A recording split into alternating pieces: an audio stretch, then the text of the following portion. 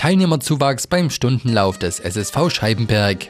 Bei der 20. Auflage waren 22 Sportler auf dem Sommerlagerplatz an den Orgelpfeifen am Start. Sieger wurde Sören Schramm aus Chemnitz. Den zweiten Platz teilten sich Rico Herold und Oliver Bach vom Team Schlettau. Den Halbstundenlauf gewann Isabel Schütze bei den Damen und Silas Benedix bei den Herren. Laufsportler sollten sich den 22. September vormerken. Dann ist in Scheibenberg der Berglauf.